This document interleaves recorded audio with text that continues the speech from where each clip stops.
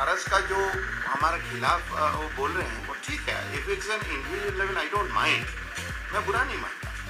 लेकिन जिस प्रकार से उन्होंने पूरा अरुणाचल को, उन्होंने लिखा, हमको चिंकी आइस कहते हैं, हमको चिंकी बोलते हैं, हमको एक चीनी कहते हैं, ये बहुत गलत मैसेज गया हुआ है।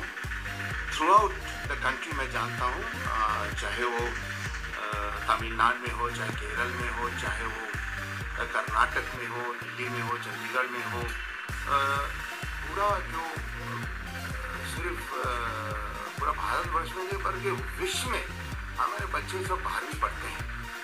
और हम जब जाते हैं, हम कहते हैं कि हम भारतीय हैं। और हमें गर्व है कि हम भारतीय हैं। और इसमें जब आप इस प्रकार से उन्होंने कहा कि ये चीन का, चीन जैसा लगते हैं, भारतीय जैसे भी नहीं दिखते मैं यही कहना चाहूँगा कि हमारा यहाँ मेरी कॉम है लॉन्च करने वाले हैं।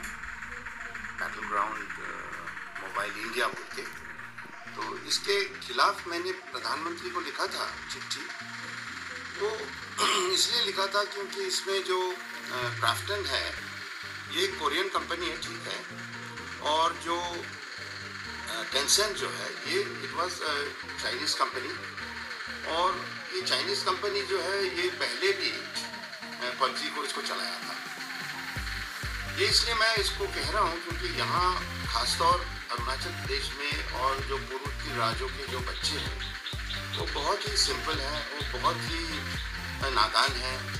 तो उनका इसका क्या इफ़ेक्ट होता उनको पता नहीं है। जैसे पहले ब्लू वेल को बैन किया गया था वैसे जितने भी सिक्सटी नाइन ऐप्स जो मैंने पहले भी प्रधानमंत्री को लिखा था तो इसमें यही बात थी कि मैं इसको एक, रिक्वेस्ट है गुंजाइश है कि यहाँ अरुणाचल प्रदेश में यहाँ के बच्चों को जो पबजी का जो एक गेम है ये उन लोग को डाइवर्ट कर देते हैं एडिक्टेड कर देते हैं।